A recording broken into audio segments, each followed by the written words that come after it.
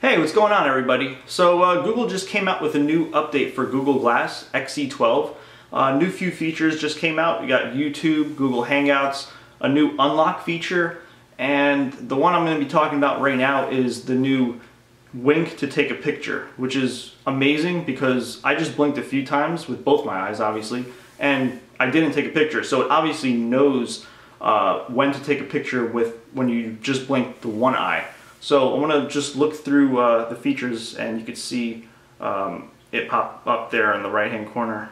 So basically to access those features you want to go to your settings and scroll through and you can see I'm actually on XE12 and here you have the screen lock feature which I haven't tried out yet. And you have wink for picture it's for experimental feature. But um, basically to activate it you want to go into that setting and then uh, calibrate and wink your eye. So you just follow the directions. And it's successfully uh, calibrated.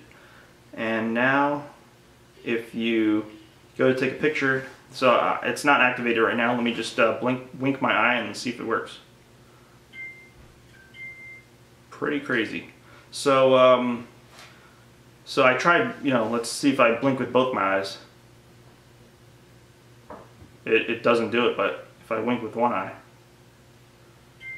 it uh, just does it. It's kind of creepy actually. But um, so before this update, you know, the way you take a picture, you just, uh, there's a button up top here. You just hit that button and you take a picture. And then the other way of taking a picture was nod your head up to activate the screen. Okay, glass. Take a picture and you see somebody creeping in the background there. So um, basically, uh, yeah, that, what do you guys think about that? This new feature about winking, like this, it's just simple. The screen doesn't need to be activated; it could be off.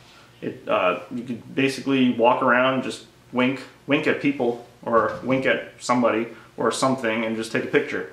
I was at the store the other day, and this lady was talking to me, and she was like, "What is that thing?"